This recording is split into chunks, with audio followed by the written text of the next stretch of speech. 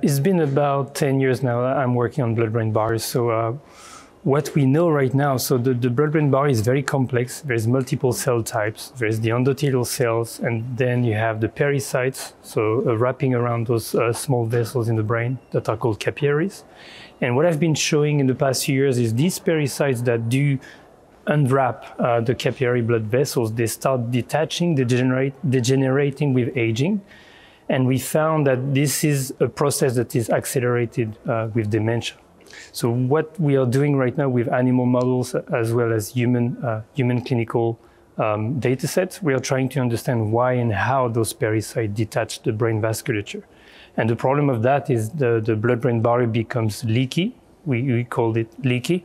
You have blood toxins coming from the blood going into the brain, which is not good to have in the brain, so neurons starts to die, and that's where we see a cognitive decline uh, starting. So the idea of the lab is just to understand the mechanisms, how those pericytes detach, and try to find a therapy to, to, to make them functional again, to maintain that barrier that is very important for brain health. Yeah, so we know a lot about the crosstalk between endothelial cells and pericytes, and uh, especially the, the crosstalk that is uh, linked to blood uh, PDGF receptor beta, so it's platelet-derived growth factor beta, and there is PDGF, PDGF-BB signaling between pericytes and endothelial cells. That's very important in utero to form the blood-brain barrier. And we know that this particular crosstalk gets dysfunctional as we age.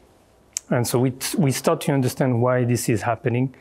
And uh, my lab is focusing on the fact that the endothelium uh, gets dysfunctional, gets activated more pro-inflammatory, I would say, which has an impact on the second layer of the blood-brain barrier, which where we see the pericytes. And we know that these uh, pro-inflammatory pro-inflammatory sorry, cytokines released from the endothelial cells and other cells will uh, impact pericyte functions and make them dysfunctional.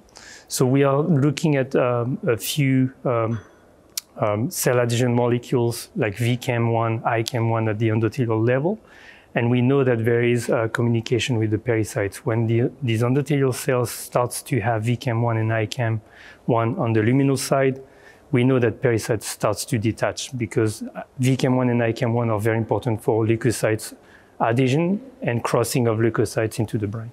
So we know that pericytes needs to detach to get those white blood cells into the brain, but the problem is some pericytes don't reattach. So which means that the blood-brain barrier doesn't um, uh, stay you know, uh, functional. So we, they start, we start to see some leakage. Uh, so yeah, uh, so we are starting to, to look at uh, what are the, the, the, the real uh, crosstalk between these two cells in using animal models especially.